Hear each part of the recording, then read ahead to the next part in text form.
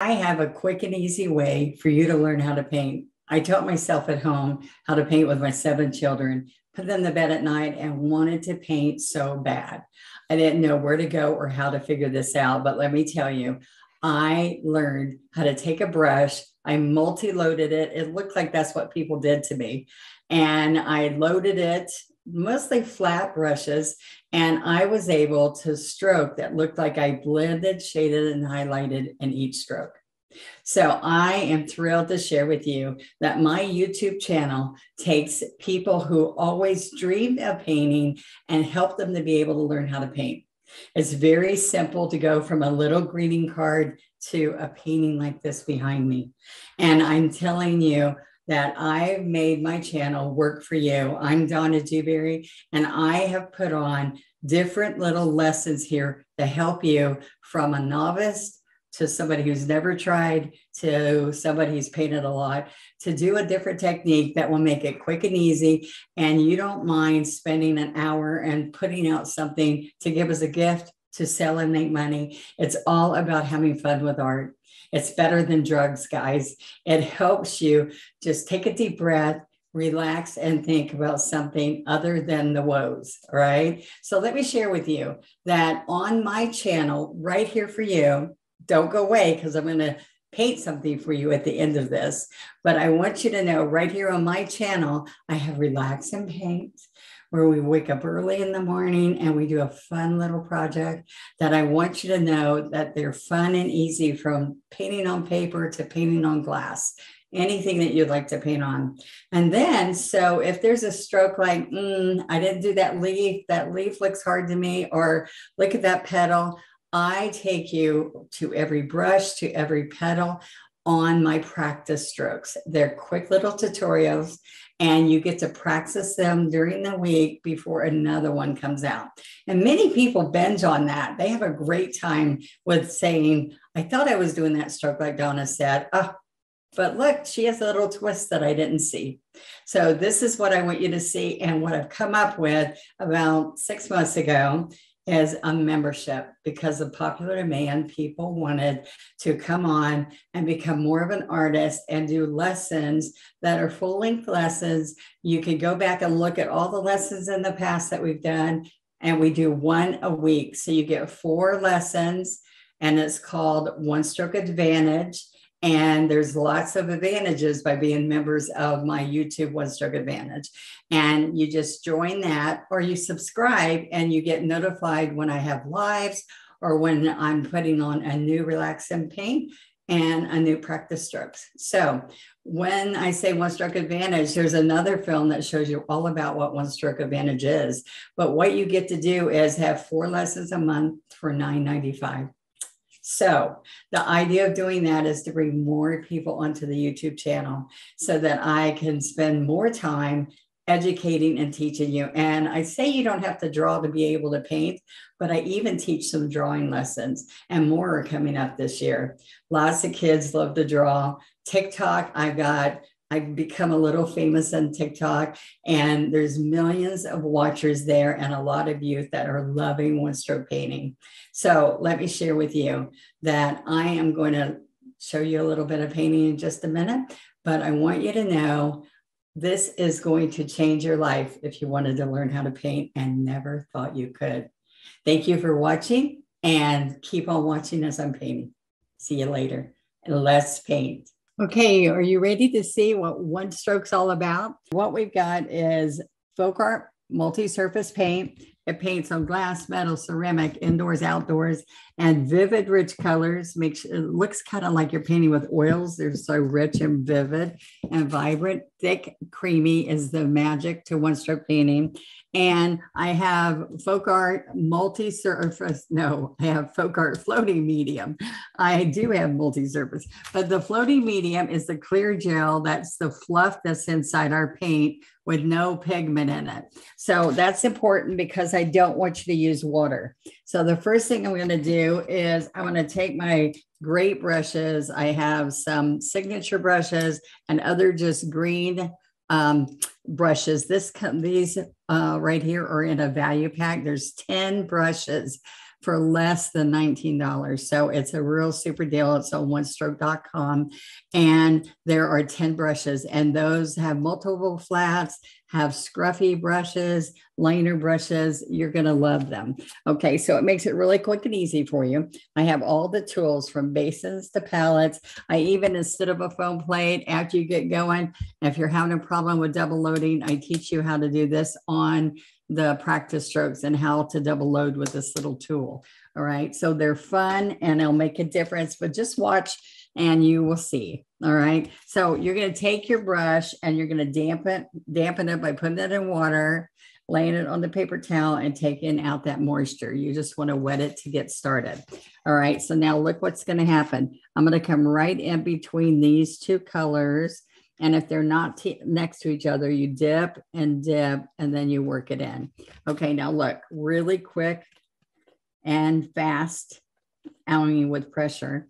And not because I want you to be fast, but that gets the paint inside the bristles, not just on the surface. Okay. All right. So since I'm on, I'm just on a piece of um, art paper. Okay. Just regular paper. You can get cardstock. There's all kinds of scrapbooking paper, whatever. Then I'm going to dip into just a little bit of the floating medium so it goes smooth on the paper. All right. And you only go into this every second, third, or fourth stroke. Don't do it every stroke. All right. So lots of paint, lots of paint. All right. So what I want to show you is right here. We're going to start and do a cabbage rose. So I want to show you how quick this happens. One, two, three. That's the starter stroke. Scrub and see my brush is going straight up and down. There's three P's that are important. Like I'm going to go back, more paint. They are enough paint is the first P. They handle straight up and down. I'm leaning it a little bit so you guys can see my stroke and then enough pressure. So if you stand up here and do this with no pressure, it doesn't look like anything. But I'm going one, two, three, push down, scrub, and stand up. All right, pressure. So those are the three P's. And so think about them again paint, position of the brush, and pressure. Okay, so now I'm just going to put two lines, which is going to help me to do the bud in the middle up and over, like over hill, touch right there where you line where you started and make a U. All right, so you started there and you ended there. Let's go back to that starter line here. One, two, three, push down pressure and come around here. One, two, three, because that side doesn't hasn't been blended. And there's a second stroke. And then you can do one or two to fill in here. Okay. Now I mess up the U. So I always come back and just clean it up to there for the next stroke. All right. These are the last two strokes. You're going to, or two or three, you're going to touch, you're going to lean the white, and then you're going to lift the pink. Okay, so touch, lean the white, lift the pink. Now I teach you all kinds of roses. This is just a simple beginner rose to get you going. So I can go restroke by getting fresh paint if you need to. All right. And then I'm going to come up here and just show you a rosebud. So look at this. Now I want to inspire you to believe that with these simple strokes, I'm going to be able to teach you how to paint flowers that you didn't think you could do. Now, I didn't clean the brush. I just dipped the violet pansy. I used magenta and white for the rose, violet pansy and white for the iris. Now look what's going to happen. I'm going to move this over here. We're on just a, a nice piece of multimedia uh, board. All right, there's the center of the iris. And then I want you to see I'm going to have one here one there. We're going to come down here. All right. So you have a map. So what I want you to do is wiggle up and then wiggle down. All right. Now, if that's a little difficult, I can go just like this and wiggle up. And then I can start right here and push down, push down, and come around. All right, so you don't have to go up and come down. You can just practice that way. Okay, so let's dip again and let's flatten the brush right here. All right, so I can just grab a little bit of yellow now, daffodil yellow on the white edge. Now look what happens here. I'm gonna come around and then I can come right here and wiggle back up. All right. Now, isn't that amazing that it can look like that with just how we load the brush? This is wiggling down to meet this. I need a little bit more. Okay. Now I can stop and then come up this way if it makes it easier for you. Okay. I just have to make those match. So if something doesn't look just like you want it to, then all you do is pick out fresh paint and try it again. Okay. So now I want to show you that I'm going to take a little small brush. We have all these flat sizes. All right. So I'm going to come right in here. All right. Let me show you. I didn't do that well. Let's get white and daffodils. Okay. We wipe it off. And this is how I teach. So I change things around. I kind of find simple ways for you to do what we want to make happen. All right. So there's more detail that you can put into that flower, but you don't need to. We can just do that. We wash the brush and we're using the three quarter again. Okay. So now look what happens. I'm going to go in between these two colors, dip some yellow or dip some white into the happy green and sap green. Okay, now I do do a little bit of medium because this is what I'm going to do. Let's go up higher so you can see this happen. I'm going to go one, two, three, pull these little chisel on the chisel strokes. Okay, so this is how I teach you. And I might not go this fast. I'm just doing this because I want you to see chisel, push, chisel, push. Push means pressure. All right, more paint. Then I chisel, stand up. Now you can see I'm dry, so I need more paint. So I did stroke right here to get paint, but we need a little medium well, because these are long strokes. So I chisel up, right? And then I'm going to come along here and drop it. So really fun single strokes because I have the brush loaded well. I can make this happen. Okay. Now, what I want to do is come in here with a vine that will take this rose right here and show you how quick. I'm going to also put some little, I'm going to put a little wisteria hanging there. Look. All right. Work this in. A little bit of and see you just restroke if you're not happy with something. Are you having fun yet? This is what I'd love to share with you. You can make it happen with simple having the brushes, the bristles are made to spring and do the strokes that I'm sharing with you to hold lots of pain. And as I wiggle and come around, all I do is release pressure and it springs up. All right. So I'm just going to be teaching you as you're doing this and you're wiggling, then you're going to stand up, stand up, and let it spring and slide to a point. Okay, and there's the stem. Now I'm teaching you all kinds of lessons each week that will help you accomplish.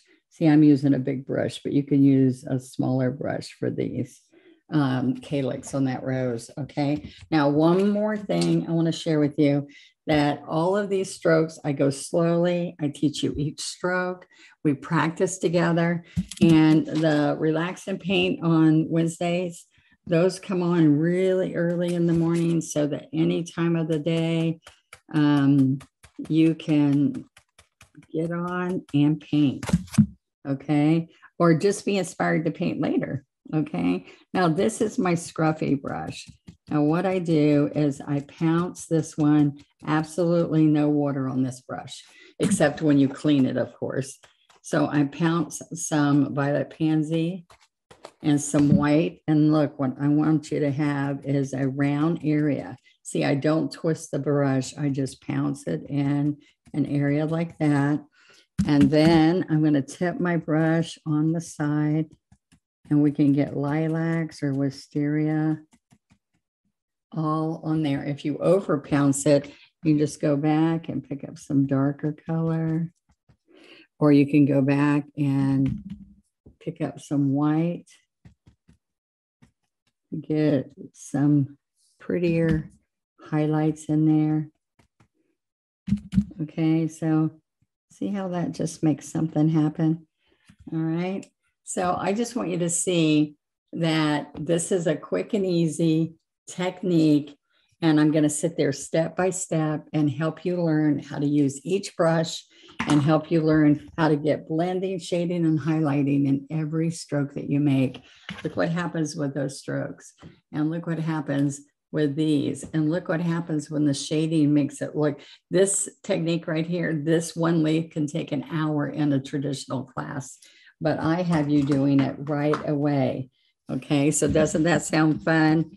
And I just want you to know that all the relax and paint, when I talk about membership, it's kind of confusing because then people think they don't get my free lessons. You still get my free lessons. I've just added another element to my channel, which is the join the membership, which gives you 10% off all my products on my site gives you discounts on all my paid lessons each month. I have four full length lessons with, um, besides the four that you get for $9.95. So, any questions you have, be sure when you join that you try to do the auto join so it automatically comes out because then people were frustrated because they didn't realize they just did month by month and you can quit anytime, even if you do auto. It's easy to get off. But I have to tell you, when you get started, it's a little addictive. so that's not a wicked laugh. That's a fun laugh. I'm excited to meet with you guys on a weekly basis on my one uh, stroke Donna Dewberry YouTube channel. Thank you very much.